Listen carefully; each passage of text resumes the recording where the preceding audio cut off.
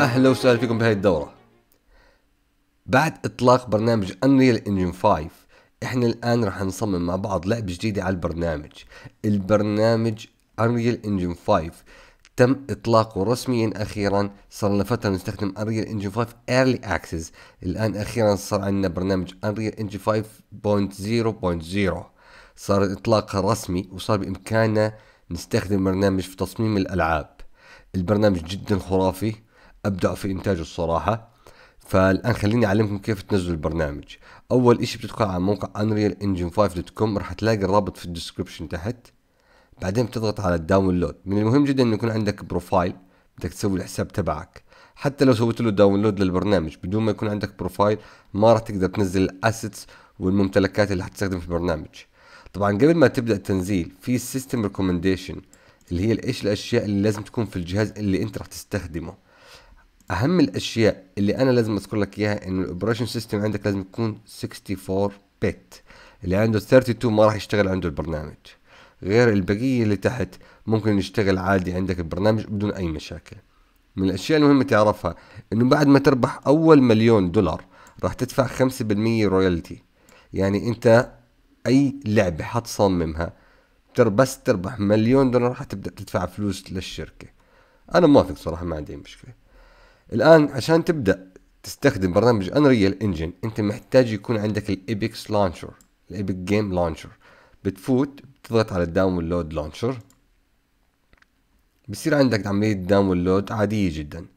ما فيش داعي نفتح ال download ونبدأ نسوي setup للبرنامج. انت بعد ما تضغط download next next بتنزله في المكان المناسب لك زيه زي أي برنامج عادي وبعدين بصير عندك shortcut نسخة على ال desktop تبعك. بتشغلها. خلينا ناخذ نظرة. هذا ال Epic Games launcher بنزل عندك هذا الملف. بس يفتح عندك. أنا راح أشرح لك الشاشة الآن اللي أمامنا. خليها يفتح. طبعا الشاشة راح تتكون من كثير عناصر. أول وحدة عندنا ال news الأخبار. لاحظ هون الخبر الحالي أكبر خبر موجود عند شركة Unreal Engine عند ال Epic Games. Unreal Engine 5 is now available. تم إطلاق برنامج Unreal Engine 5 وراح تلاقي أخبار تانية تحت. فالصفحة الأولى راح تكون صفحة الأخبار. الخيار الثاني ال samples. بيكون في أشياء أنت ممكن تستفيد منها بشكل خرافي. زي ما عندك هذا الملف. بتنزله بتقدر تمتلك هذه الشخصيات في اللعبة تبعيتك. وتقدر تستخدم مثلا ال content example بتنزل فيه ملفات جدا رائعة جوا هذا الملف. تقدر تستخدمها لتطوير لعبتك الخاصة. فأنت هذه ملفات مفيدة جدا إنك تستخدمها في تطوير ألعابك في تطوير المشاهد التلفزيونية المشاهد السينمائية اللي أنت حاب تنتجها. بعد هيك عندنا ال marketplace ال marketplace هو عبارة عن مكان للفنانين بحطوا إبداعاتهم. سواء من شخصيات سواء من أكواد سواء من مدن. فبتلاقي كثير من الأشياء الموجودة. على سبيل المثال نضغط يشوفون عندنا UE 5 خلينا نشوف عندنا مثلا characters الشخصيات اللي ممكن نستخدمها في ال Unreal Engine 5 لاحظ هاي الشخصيات كلياتها بتقدر توضعها جوا الألعاب تبعيتك. تستخدم أي شخصية بتعجبك تقدر يا إما تشتريها بفلوس يا إما تأخذها مجانية في منها أجزاء مجانية. على سبيل المثال الشهر ال free free for the month فبتلاقي ملفات هذه ملفات مجانية هذا الشهر. كل شهر هتلاقي ملفات جديدة بتكون أصلا فيها ممكن تكون غالية زي هاي 150 دولار تصير free فأنت شوف الموجود حاليا في لحظة تصوير لحظة تصوير هذا الفيديو كانت هذه الأشياء المجانية. بعد هيك عندنا ال library أول مرة بتنزل البرنامج راح تكون هاي المنطقة عندك فاضية. راح تلاقي ال engine versions إيش النسخة اللي أنت راح تنزلها عندك على الكمبيوتر؟ فبتضغط على الزائد الآن بيطلع لك هون النسخ اللي بتقدر أنت تنزلها. على سبيل المثال أنا منزل رقم خمسة وهذا اللي أنت بدك تنزله. أنا ما راح تلقى ما راح يطلع عندي الآن رقم خمسة. أنت شوف خمسة point zero point zero لأني أنا أصلا منزلها ما راح تطلع بالقائمة اللي هون. بتختارها. بعد ما تخلص تضغط على install وبتستنى عليها راح تاخذ تقريبا عشر دقائق لثلث ساعة إذا الإنترنت عندك سريع. بعد هيك بتضغط على launch وحتبدأ تدخل جوا برنامج Unreal Engine 5 المنطقة تحت هاي هي المشاريع اللي انت تشتغلها.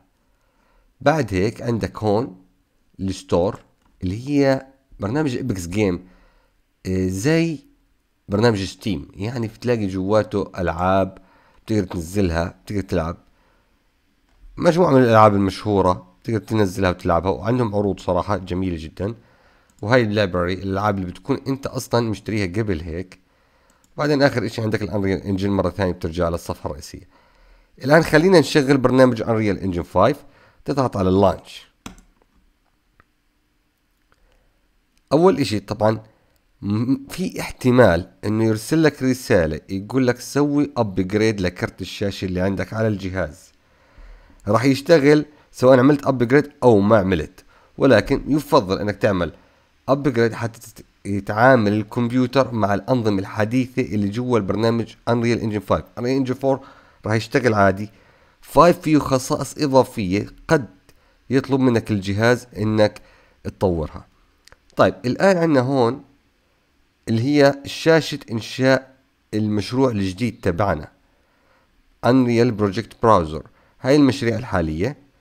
إذا بدك تنشئ لعبة بتضغط على games فبتلاقي هون صور ال games اللي بدك تسوي first person shooter third person الشخصيات اللي بدك تعملها. بعد هيك عندك الفيلمز هذه الانتاج السينمائي. وهذه الانتاج المعماري. تصمم منشآت معمارية بتصوير إبداعي. وهي لشركات السيارات غالبا هم بيستخدموها. بصمموا تصميم سيارة. أمور العرض والدعاية والإعلام. عندك الجيمز تختار انت من هذه الجهة اللعبة اللي بدك تصممها. على سبيل المثال إحنا راح نستخدم أو خلينا نختار blank فارغ.